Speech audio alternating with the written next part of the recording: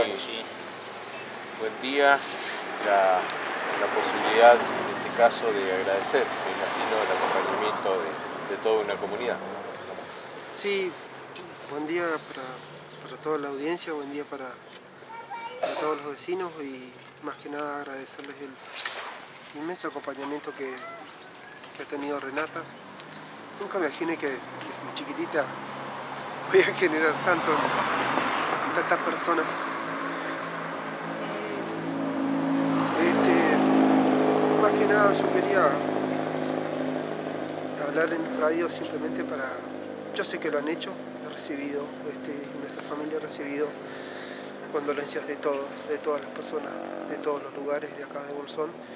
Eh, pedirle a las 10 y cuarto nosotros vamos a salir de la iglesia El Faro vamos a ir a, darle sepultura a nuestra hija Renata y pedirle a los eh, diferentes partidos políticos, por favor, que si a partir de las 10 eh, con esas con esas altoparlantes que se está haciendo publicidad, si le pueden parar una hora, por favor, para poderlo llevar en, silencio. Y bueno, llevar nuestro de lo que nos corresponde. Bueno, son cientos de vecinos que desde ayer a las 7 de la tarde están concurriendo, inclusive hacen cola para poder saludarte a vos, a Alejandra, y, despedirse de Renata. ¿Qué, genera esto en vos? Genera mucho amor. Renata me enseñó tener mucho amor y no tener rencor, no tener reproche.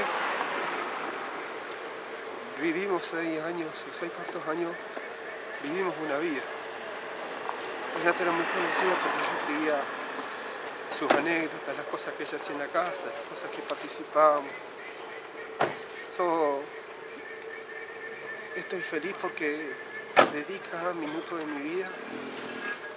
Salíamos a caminar, salíamos allá a caballito, salíamos al cerro, dibujábamos. Grabaron juntos los cuentos de la próxima Feria del Libro del Teatro Negro de la Escuela de 70. Sí, tenía que estar este miércoles yo en, en el teatro y y bueno, me queda una cosa pendiente, como le escribía, el viernes Renata había traído su boletín, todas sus notas eran sobresalientes y habíamos quedado que íbamos a ir a festejar el día lunes a comer un helado, que ella siempre quería esas cosas. Y bueno, nos quedó eso pendiente, yo, yo estoy destrozado, quiero que lo sepan.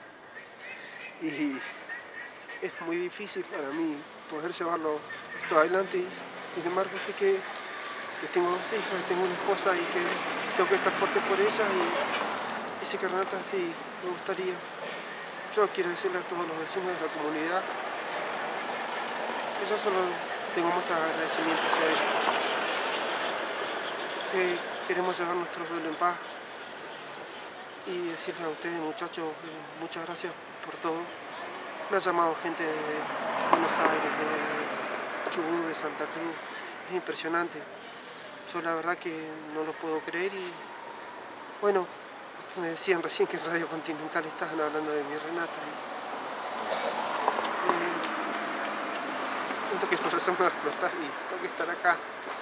Así que decirle muchas gracias y gracias por acompañarnos y a los que quieran acompañar a Renata en, en nuestro último viaje acá en la Tierra este, a partir de las 10 y cuarto vamos a estar saliendo.